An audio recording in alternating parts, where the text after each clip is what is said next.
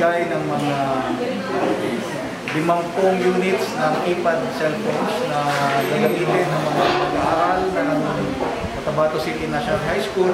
Nagsimula po itong proyekto ito nung ako ay ah, ah, sinabihan ng isang mga, isa sa mga guro ng CCNHS na si ah, Ma'am Marife Villa. Siya po ay nakipag-communicate sa atin at uh, nagre-request kung pwede, uh, maaari ay po ay mag-donate ng ah, keypad cellphones para sa kanyang mga estudyante. So tayo naman po ay naghanap ng ah, ating mga kaibigan na po pwede mag-provide ng funds for the procurement of keypad cellphones. At uh, fortunately, the battalion was able to look for or find a donor. So, nandito po tayo ngayon at ngayon ay uh, atin pong uh, nai-hand over yung nasabing 50 units ng uh, keypad cellphones para sa mga mag-aaral.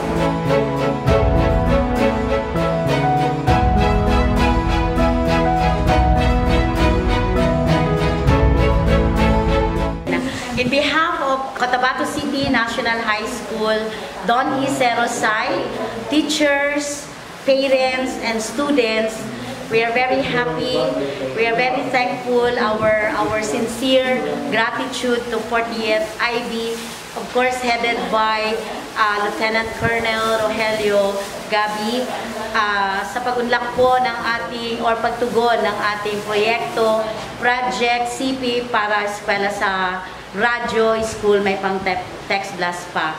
Ito po ay isang gesture na talagang ah, kami po ay ah, masayang-masaya dito sa Don Isero site dahil meron po kayong natulungan na yung ating uh, kinoconsider na the poorest of the poor students identified during our survey kung sino po yung walang mga gadget.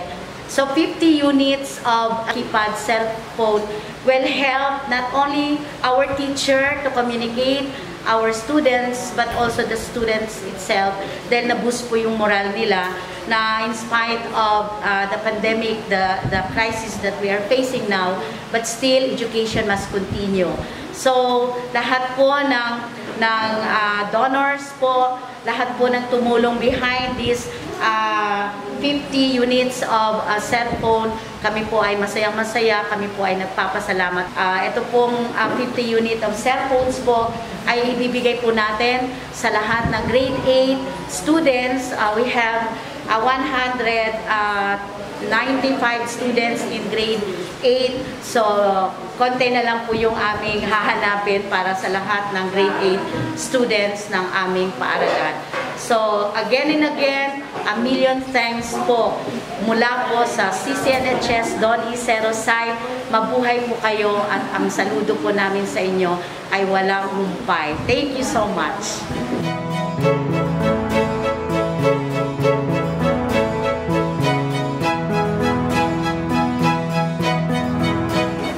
part of the 40th Infantry Battalion, I'd like to give my gratitude to the CCNHS for giving us this opportunity to share the whatever blessings that the 40IB have and provide assistance sa mga kabataan. Uh, despite this pandemic, ay makapag-aral pa rin ng maayos. Maraming salamat.